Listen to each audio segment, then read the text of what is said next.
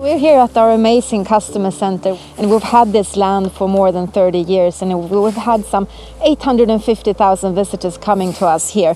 And now, Carl, we are investing in another super exciting innovation arena. What is that?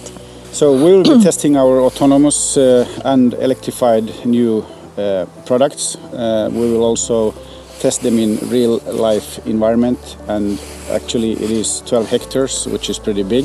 It's also an 8 million SEK uh, investment.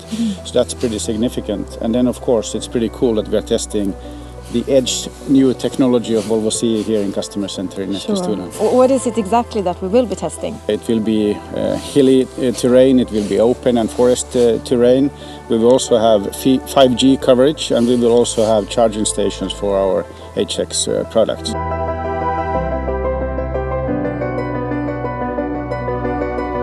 We are at the Volvo CE site in Eskilstuna. Uh, here we produce axles and transmissions for wheel loaders and haulers. Uh, we have invested 5 million Swedish crowns in a system that take the spare energy and heat from the heat treatment and transport it to the paint shop where we use it both for the painting process and for the ventilation.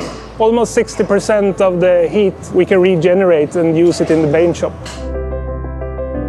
The results will be that we will be able to reduce 1,700 megawatt hours a year, and that is about 4 to 5% of our total consumption. And there are many, many things we are wanting to do here to come.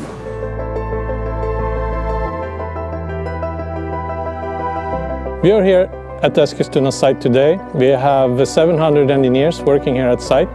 The total investment of this test track is uh, 3 million SEK.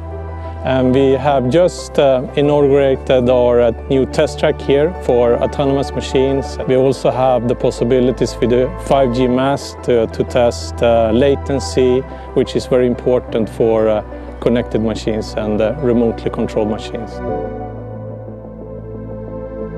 We have done development for several years now. We will come to a phase where it's more about trying to test the system and find the last kinks in the puzzle that are not really fitting in that we really need to find and fix so we try and operate as much as possible. So uh, our goal is to operate at least eight hours a day, just run the machines again and again and again around the track. And then of course we also have a development phase. So inside this room right here we're doing testing but then we also do development separately as well at the same time. And when you are three or four people it becomes really efficient because you can have two, one or two people just operating the machines so you can have two other people doing development at the same time. It becomes a very efficient environment to work and I think that's why we have achieved so much in this short time.